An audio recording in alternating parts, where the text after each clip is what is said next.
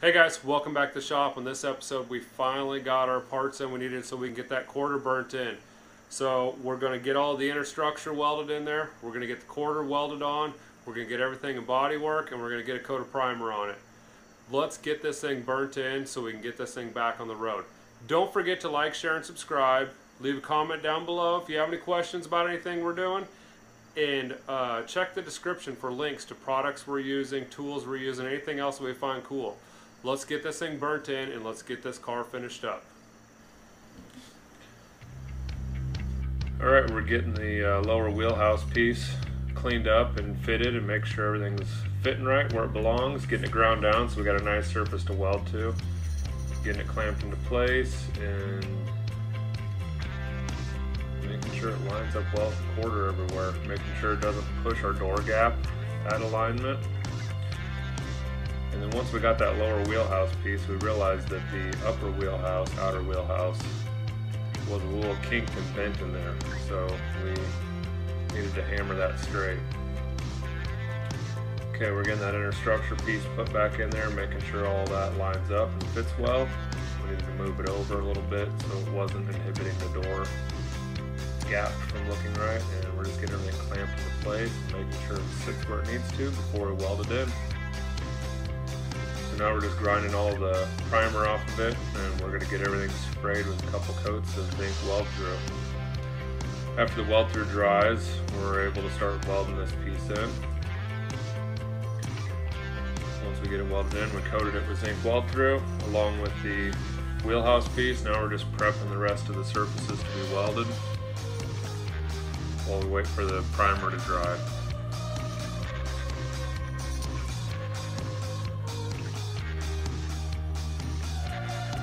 Get all these areas prepped and hit them with a coat of weld through.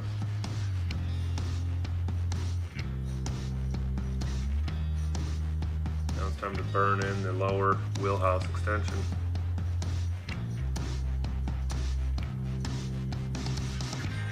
Again, that Harbor Freight spot welder works fantastic.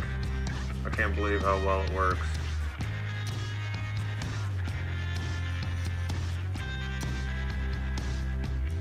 See the cardboard there we put against the lines just to give us a little bit of insulation so we didn't arc those lines because it was a pretty tight fit getting it in there.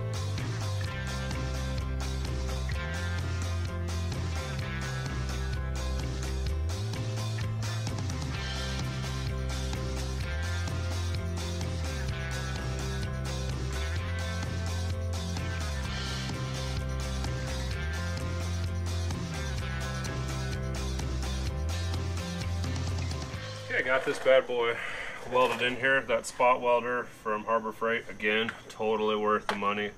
Um, wanted to be careful to stay away from any of these lines. Um, so I put a little piece of cardboard up there to insulate it so that it didn't arc to it. Um, was able to get all the way across here. Alrighty, we got everything ground down. Uh, got some some holes punched in there where we're not going to be able to use a spot welder. And then again along in here. And had to drill a bunch of holes in the door jamb area. On the back side, got everything ground down and got it hit up with some uh, zinc weld through primer. So I think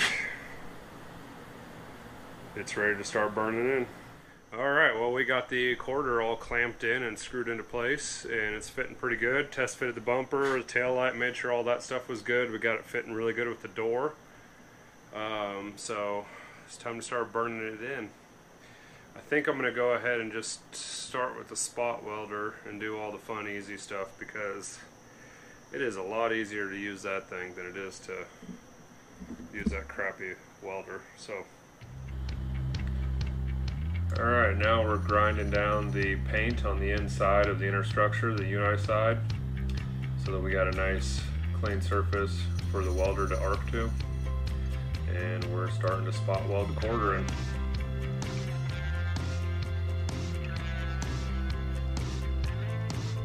I got a hot one there in my shoe, so I had to kick it off. Down here in the inner wheel well area, I needed to sand the paint off of the top of the outer wheelhouse in order to get a good connection with the welder. Once that was done, we just clamp it down in place and work our way around.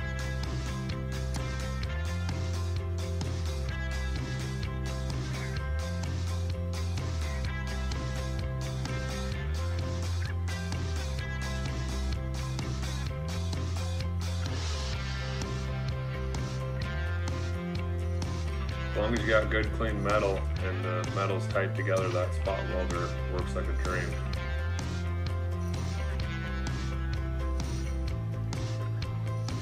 Okay, now we're starting to burn it in with the old Miller Cricket.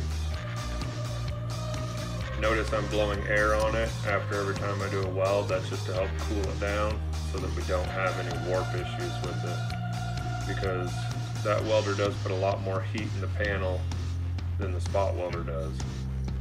So I want to make sure we keep it cool in between welds so not to warp it.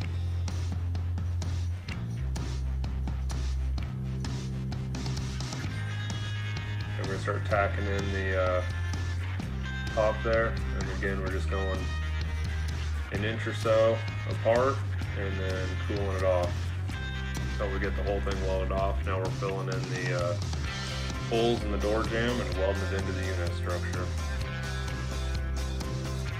Now we're just cleaning up our welds with a cutoff tool. Just grinding them down smooth. And then we come back with a grinder with a flat disc on it and just kind of clean it all up.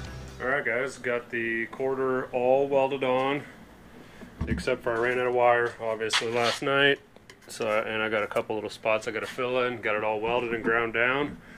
So I think the next step, while I'm waiting to go get some wire, we'll get this cleaned up here. Get some kitty hair on that and smooth that out a little bit. And the uh, the wheel well lip arch uh, warped to just a little bit when I was squeezing it up to clamp it. So I'm probably going to smooth that out just a little bit just to make that a little smoother.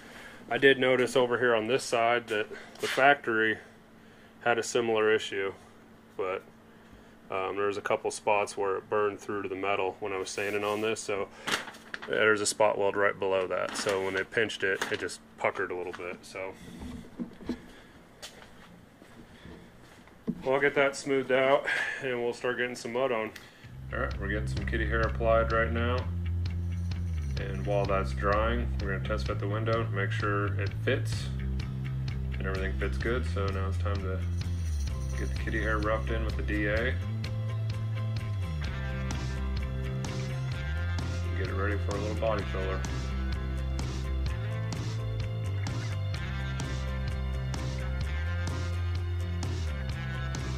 Alright, smearing some body filler on the wheel well arch and everywhere else we welded the quarter in at. And now it's time for block sand.